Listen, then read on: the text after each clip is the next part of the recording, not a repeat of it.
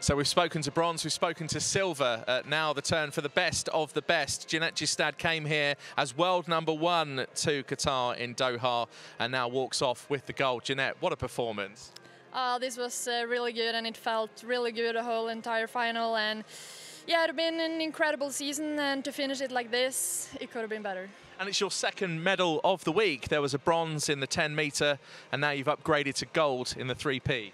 Yeah, the week have been really good. Even the season is quite long, and now we're like setting a finish to it.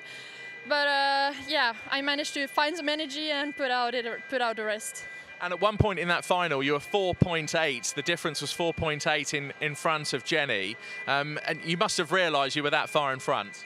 Yeah, but it's like it's not just positive to be that far in front because it's like you're thinking, okay, now I really have to mess up um, if this is not going the right way. But I managed to like try to think in my own and try to focus, but it was really hard in the end, but really fun, really fun. Well, it was wonderful to see in a very entertaining final as well. Uh, do you have a message for anyone back in Norway? Yes, in Norwegian this time.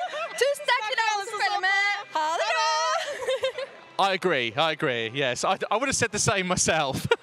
Thanks for joining us. We'll be back at 5 o'clock local time for the 25 metre rapid fire with the men live here from Doha in Qatar.